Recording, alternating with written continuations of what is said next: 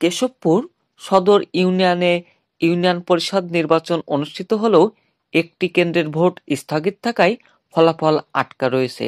এ কারণে অপেক্ষায় রয়েছে তিনটি পদে প্রতিদ্বন্দ্বিতা করা তেরো প্রার্থী। এর মধ্যে চেয়ারম্যান পদে পাঁচজন, মহিলা মেম্বার পদে চারজন ও মেম্বার পদে রয়েছেন চারজন প্রার্থী। স্থগিত থাকা ওই কেন্দ্রের নির্বাচনের তারিখ এখনও ঘোষণা করেনি নির্বাচন কমিশন। গত পাঁচ জানুয়ারি কেশবপুরে পঞ্চম ধাপে ইউনিয়ন পরিষদ নির্বাচন অনুষ্ঠিত হয়।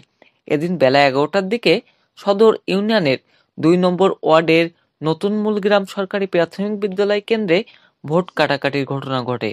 খবর পেয়ে প্রশাসনিক কর্মকর্তারা এসে এ কেন্দ্রের ভোট স্থগিত করেন। এর ফলে এ ইউনিয়নের বাকি আটটি ওয়ার্ডের নির্বাচনের ফলাফল প্রকাশিত হলেও এ কেন্দ্রে ভোট স্থগিত থাকায় প্রতিদ্বন্দ্বী চেয়ারম্যান ও ওই ওয়ার্ডের সংরক্ষিত মহিলা মেম্বার এবং মেম্বার পদপ্রার্থীরা ভোট গ্রহণের তারিখের অপেক্ষায় আছেন। এছাড়া ওই কেন্দ্রে সুষ্ঠু ভোট নিয়েও রয়েছে প্রার্থী ও ভোটারদের মধ্যে শঙ্কা।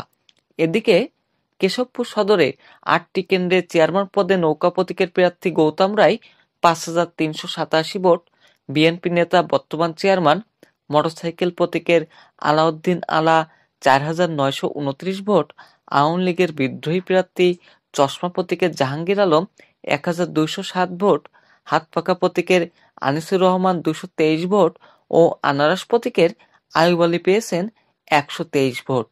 স্থগিত থাকা নতুন মূলগ্রাম সরকারি প্রাথমিক বিদ্যালয় ভোট কেন্দ্রে ভোটার সংখ্যা দুই হাজার একশো উনিশ। বেসরকারি ফলাফল থেকে এ তথ্য পাওয়া গেছে। উপজেলার নির্বাচন কর্মকর্তা ও রিটার্নিং কর্মকর্তা বজলুর রশিদ বলেন, কেশবপুরের সদরের ওই কেন্দ্রে ভোট কাটাকাটির কারণে স্থগিত করা হয়েছে। ভোট গ্রহণের নতুন তারিখ এখনও ঘোষণা করা হয়নি।